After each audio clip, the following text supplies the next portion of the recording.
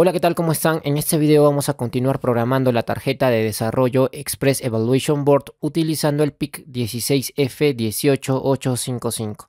En esta oportunidad vamos a mostrar cómo configurar la comunicación Full Duplex del módulo User, para lo cual tenemos que hacer uso de nuestra tarjeta.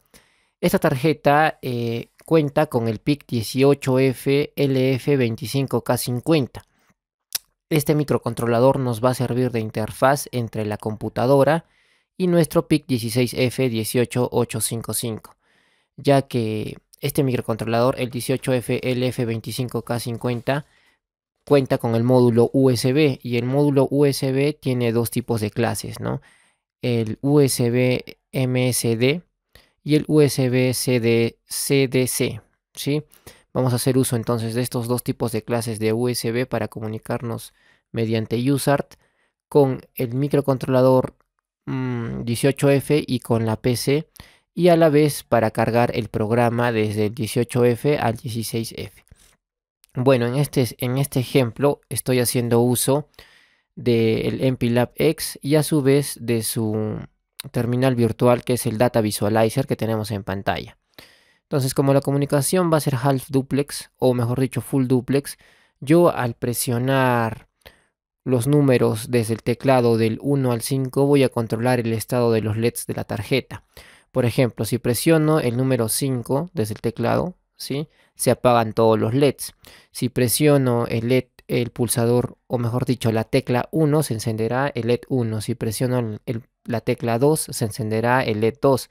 Si presiono la tecla 3 se encenderá el LED 3, si presiono la tecla 4 se encenderá el LED 4 y si presiono la tecla 5 se apagan todos los LEDs. Puedo hacer a su vez combinaciones, ¿no? Quiero que se encienda el LED 4, luego el LED 1, quiero que se apaguen los dos LEDs, solo quiero encender el LED 2, quiero apagar el LED 2, quiero encender el LED 3, que se, encienda ahora el LED 1, que se encienda el LED 4, quiero apagar los, todos los LEDs y quiero ahora encender el LED 1, apagarlo, encender el LED 2, apagarlo, encender el LED 3, apagarlo, quiero encender el LED 4 y apagarlo. Vemos que estamos ingresando todos estos números por el terminal serie y estamos haciendo la conmutación desde el Data Visualizer de MPLAB X, ¿sí? Bueno, vamos a ver ahora la programación desde Code Configurator utilizando el MCC que es el aplicativo para programar de manera más sencilla con el PIC 16F18855 utilizando la tarjeta de desarrollo Express Board Evaluation. ¿Sí? Bueno, como les comentaba, para comunicar nuestro PIC 16F18855 con la tarjeta Express Evaluation Board con una PC o una terminal, necesitamos hacer uso del el PIC de comunicación con el cual llega nuestra tarjeta, que es el 18LF25K50, que es el que tenemos aquí en pantalla, ¿no? Entonces, este microcontrolador que nos va a permitir a la vez programar nuestro PIC 16F18855 mediante USB y también nos va a permitir comunicar los datos que nosotros queramos enviar por user desde el PIC 16F18855 hacia el PIC 18LF25K50 y después convertir estos datos a USB y enviarlos hasta nuestra computadora. ¿Cómo logramos esto? Pues porque el PIC 18LF25K50 cuenta, cuenta con dos modos USB o dos clases. ¿no? La primera es la USB Mass Storage Device o MSD ¿sí? Este tipo de clase va a recibir los archivos hex o va a almacenarlos en su unidad de almacenamiento. Y luego este punto hex que está almacenado en su memoria de almacenamiento va a servir para programar el PIC 16F18855. Entonces, vamos a utilizar el PIC 18LF25K50 como el programador del PIC 16F 18855. ¿sí? Esto mediante la clase USB Mass Storage Device o MSD. Luego tenemos eh, la siguiente clase con la cual cuenta este microcontrolador, que es la USB CDC, que es la Communication Device Class.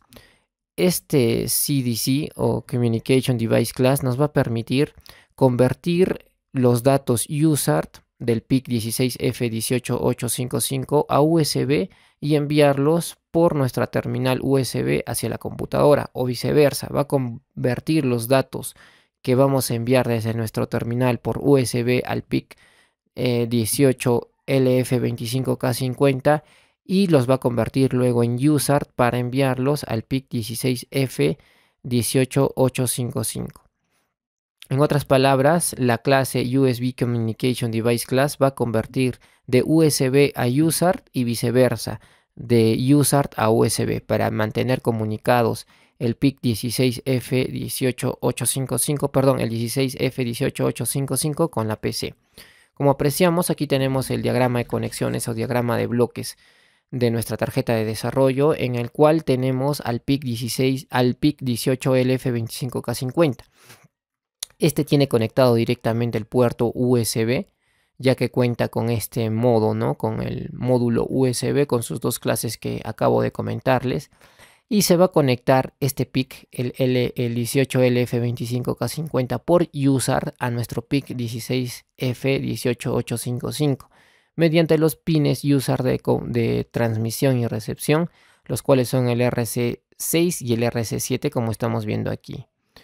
Si nos vamos a nuestra tarjeta de desarrollo que es la 16F18855, vemos de que estos pines están comunicados en full duplex mediante USAR a los pines RC, RC0 y RC1. Esto hay que tener en cuenta al momento de programar o configurar nuestros pines USAR para el PIC, ya que si es que no colocamos los pines RC0 y RC1 como transmisión y recepción respectivamente, no vamos a lograr hacer el enlace con el PIC 18LF 25K50 y por ende no nos vamos a poder comunicar con la computadora mediante USB, ya que estos pines, el RC0 y el RC1, están conectados físicamente a los pines RC6 y RC7 del PIC 18LF 25K50.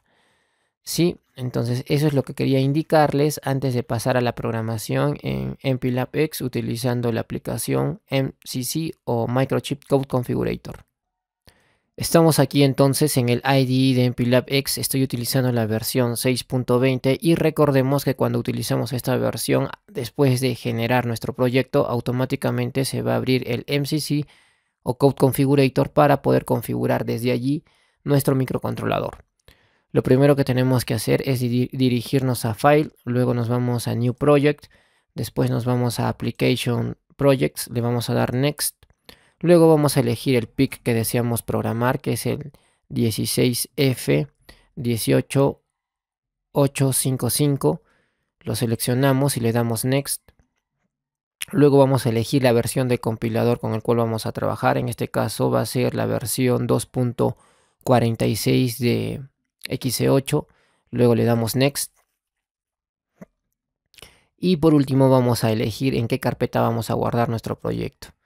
Yo le voy a poner el nombre de TX guion bajo. A ver, voy a hacer el guion bajo otra vez. Lo tengo deshabilitado. Guión bajo RX. ¿Sí? Igual se va a llamar el nombre de mi proyecto TX. Voy a activar otra vez el guion bajo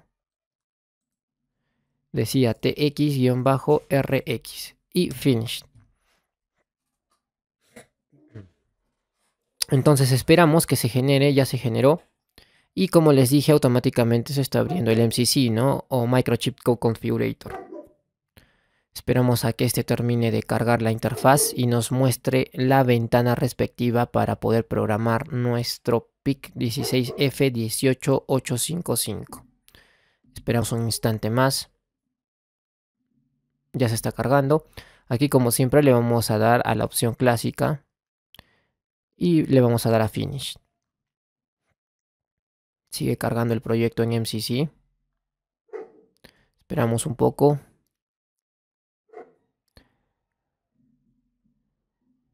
Siempre demora al utilizar las últimas versiones del MCC y el IDE de MPLABX. Listo, aquí tenemos la interfaz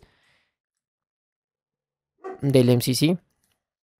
Ampliamos aquí, vamos a cambiar primero el tipo de empaquetado, como siempre estamos trabajando con la tarjeta Express Evaluation Board, así que tenemos que seleccionar el empaquetado de montaje superficial que es el UQF-N28, que aquí lo tenemos. Ya, vamos a configurar ahora lo que es la frecuencia del oscilador. Esta parte ustedes ya la conocen, ya que les he enseñado en el primer, video, en el primer video de la utilización de esta placa. Y ahora vamos a habilitar los LEDs como salidas digitales. Esa parte también la conocen porque ya la hemos visto en los videos que estamos desarrollando con esta tarjeta, ¿no? Listo, ya configuramos estos pines como salidas digitales y ahora viene la cereza del pastel o la parte más importante es de que cómo configurar el módulo user desde, desde aquí, desde el MCC o Microchip Code Configurator. En Device Resources vamos a buscar el módulo user o e-user, ¿no? que es el user mejorado. Lo desplegamos y al icono de más le hacemos un clic para que el módulo user aparezca aquí arriba en nuestro Project Resources.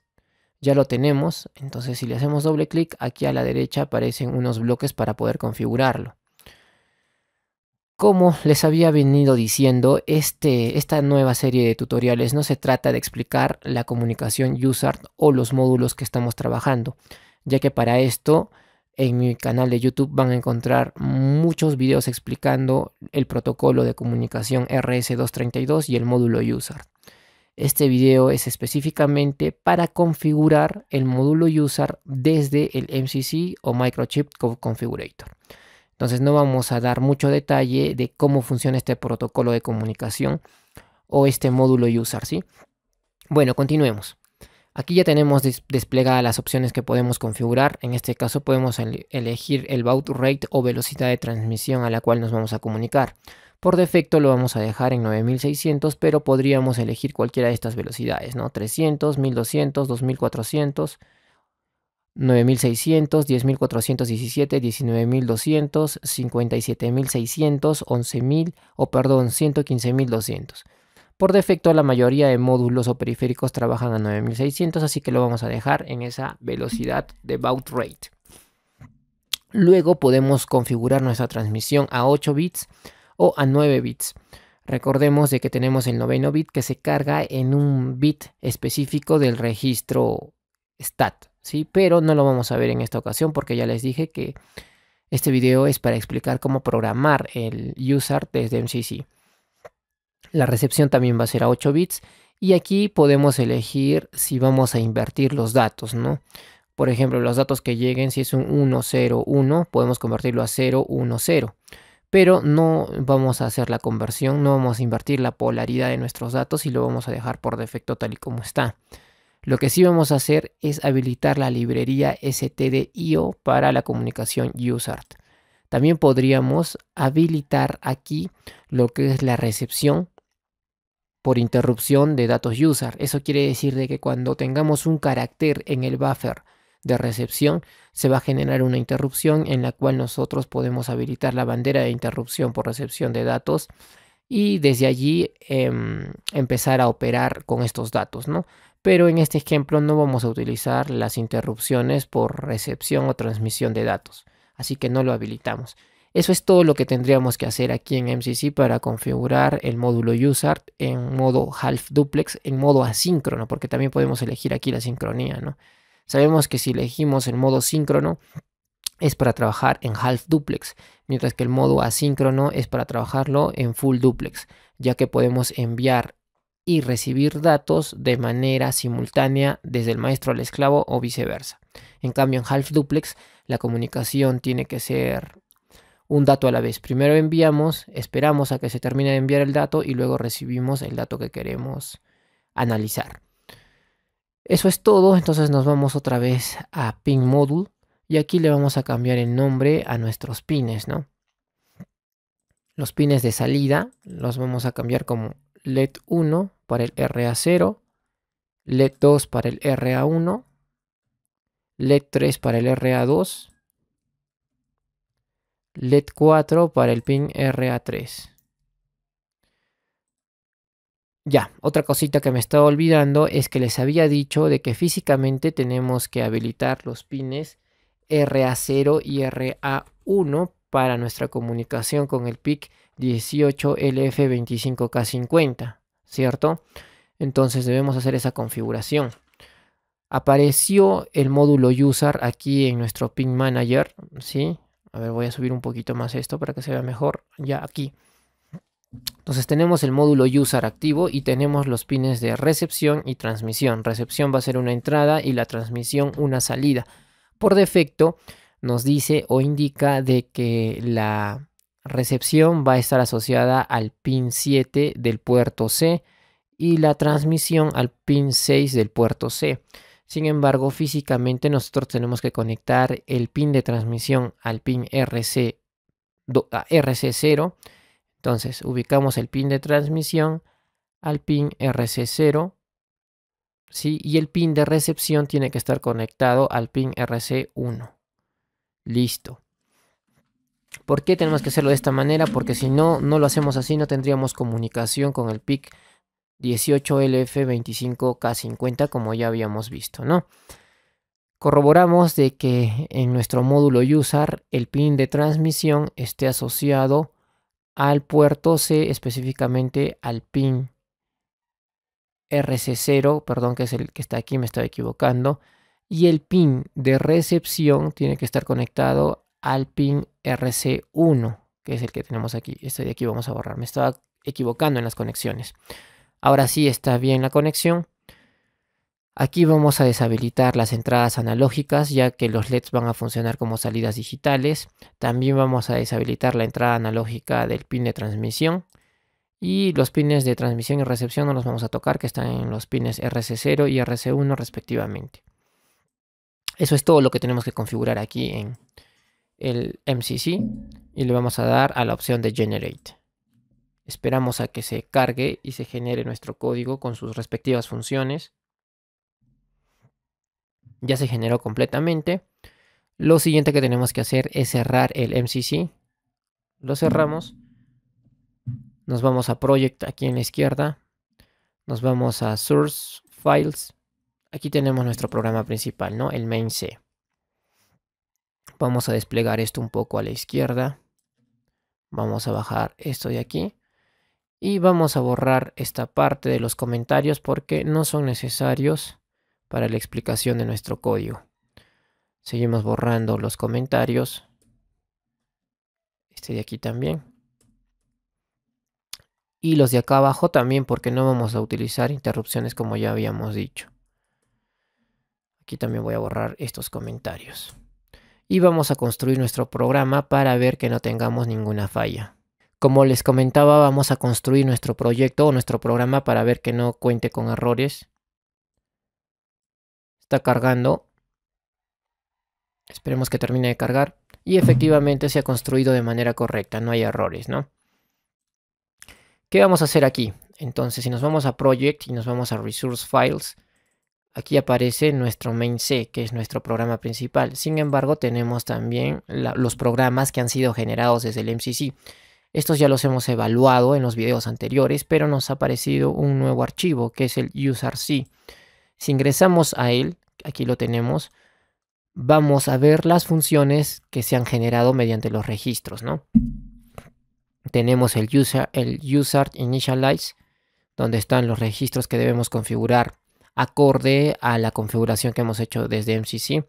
Luego tenemos aquí una función que es muy importante, que es la user is tx ready. Nos indica que el puerto user está preparado para realizar la transmisión.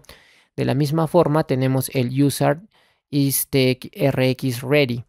Nos indica de que el puerto user está preparado para la recepción. Esta función es la que vamos a utilizar. ¿Y cómo vamos a enviar datos o leer los datos que nos están llegando por el puerto user? Esto lo hacemos mediante la función userRead, en la cual nosotros vamos a leer el estado o los caracteres que se almacenen en el buffer rc1rec. ¿sí? Estas dos son las funciones que vamos a utilizar el día de hoy. También podríamos utilizar el user write si es que queremos enviar datos desde el PIC hacia el terminal. Pero en esta ocasión no lo vamos a hacer, solamente vamos a hacer uso de estas dos funciones. Ustedes luego pueden evaluar el usart.c para trabajar con las demás opciones, ¿no? Este video, como les he dicho, es demostrativo. Y vamos a continuar entonces, regresamos al main.c y lo primero que vamos a hacer va a ser crear una variable para poder eh, recibir los datos que van a llegar desde el terminal, ¿no? Esta variable se va a llamar char, va a ser de tipo char, mejor dicho, carácter, carácter, guion bajo, voy a activar mi, guion bajo que siempre se, me, se desactiva, guion bajo rx, punto y coma. Es una variable de tipo global, ¿no? Una vez que he creado mi variable de tipo global, me voy al while 1, que es el bucle infinito, y aquí vamos a preguntar si es que hemos recibido un, un dato o un carácter por el puerto user. Esto mediante la condicional if. Y lo hacíamos mediante la macro user guion bajo is rx ready, ¿no? De esa manera estamos preguntando si es que tenemos algún carácter dentro de nuestro buffer de recepción. Si es así, si esto se cumple, entonces vamos a guardar este carácter dentro de nuestra variable carácter rx. Y esto lo hacíamos leyendo la función user, ¿no? Entonces colocaremos user guion bajo como era user guion bajo read si no me equivoco. User guion bajo read aquí tenemos no la función. Con esta función mejor dicho esta función nos permite almacenar o devuelve el dato que se ha almacenado en el buffer de recepción. Listo, ya tenemos entonces el carácter que hemos recibido dentro de nuestra variable carácter rx. Y ahora vamos a hacer para encender nuestros LEDs dependiendo de, los, de las teclas que estemos presionando el uso del switch. ¿sí? Entonces vamos a usar el switch. Y vamos a preguntar por carácter rx. ¿sí?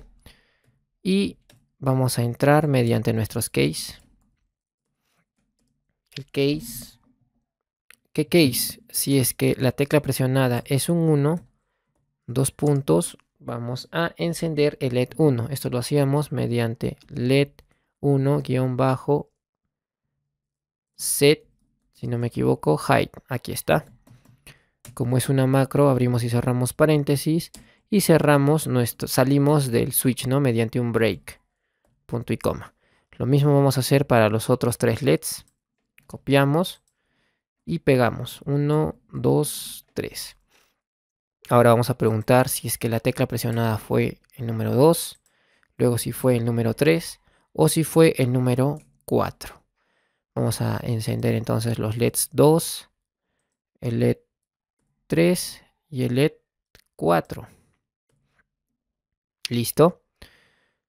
Y vamos a crear una quinta opción que si es que presionamos la tecla 5, que todos los LEDs se apaguen.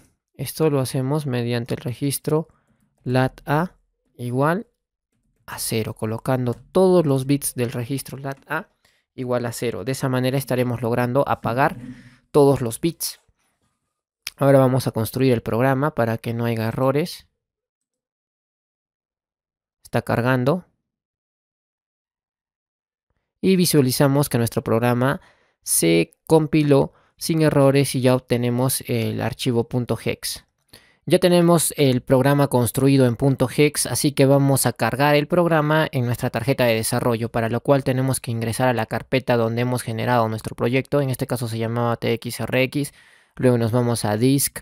Después de disk nos vamos a default default a production y en production ya tenemos el punto hex. Lo copiamos entonces y lo pegamos en nuestra tarjeta de desarrollo que la tengo aquí. Voy a pegar el archivo, voy a reemplazar el existente, Listo, ya se cargó. Ahora abrimos otra vez el MPLAB y nos vamos aquí a la opción para cargar el Data Visualizer. Si apreciamos, aquí tenemos un icono que es el DB, que es el Data Visualizer. ¿no? Le hacemos clic, este carga y aquí tenemos que seleccionar el puerto COM al cual ha sido asociado nuestra, tarjeta de desarrollo. En mi caso, este puerto COM es el puerto COM 11. Esto ustedes lo pueden ver desde el panel de control seleccionando la opción eh, administrador de dispositivos. Bueno, aquí entonces tenemos la terminal serie del Data Visualizer donde vamos a ingresar los datos. Ya aquí en Source elegimos entonces el COM11 que en mi caso es donde está conectada mi tarjeta de desarrollo Express Evaluation Board. Ya la seleccioné. La comunicación va a ser de 8 bits Sí, y aquí a la derecha, a la izquierda, perdón, le voy a dar a play el COM11. Le doy play entonces y ya puedo ingresar mis datos, ¿no? Voy a encender, por ejemplo, el primer LED, para lo cual presiono la tecla 1. Se encendió el primer LED, voy a encender el segundo LED, entonces tengo que activar o presionar la tecla 2. Se encendió el siguiente LED, luego voy a presionar la tecla 3 para que se encienda el LED 3. Se encendió el LED 3, Ahora voy a presionar la tecla 4 para que se encienda el LED 4. Presioné la tecla 4 y se encendió el LED 4. Si presiono la tecla 5 se tienen que apagar los 4 LEDs. Presiono el 5 y se apagan los 4 LEDs. Ahora voy a presionar el 2, se enciende el 2, presiono el 5 para que se apague, voy a encender el LED 1, voy a apagar el LED 1, voy a encender el LED 3, voy a apagar el LED 3, voy a encender el LED 4, voy a apagar el LED 4 voy a encender el LED 1 y voy a encender el LED 3. Luego voy a encender el LED 4, por último el LED 2 y voy a apagar todos los LEDs. Y estamos corroborando que nuestro programa se está ejecutando de manera correcta, ya que estamos enviando mediante user, mediante la terminal del Data Visualizer, ¿sí? los datos necesarios para controlar el encendido y apagado de nuestros LEDs. Esta comunicación es una comunicación full duplex y de esta manera queda corroborado que podemos hacer el encendido o el control de nuestra tarjeta de desarrollo mediante el terminal serie, ¿no? Voy a encender todos los LEDs, los voy a apagar. Voy a encender ahora los LEDs de manera aleatoria y los voy a apagar, los voy a volver a encender y los apago. Entonces la comunicación user ha quedado demostrada que es efectiva mediante la programación en MCC. Si ustedes tienen algún proyecto de electrónica en el cual necesiten asesoramiento, si es que tienen algún proyecto de electrónica digital o analógica, no duden en comunicarse conmigo. Ayúdenme a que el canal siga creciendo para que yo pueda seguir subiendo contenido. Denle like a este video, compartan el video y suscríbanse al canal. Eso sería todo. Muchas gracias.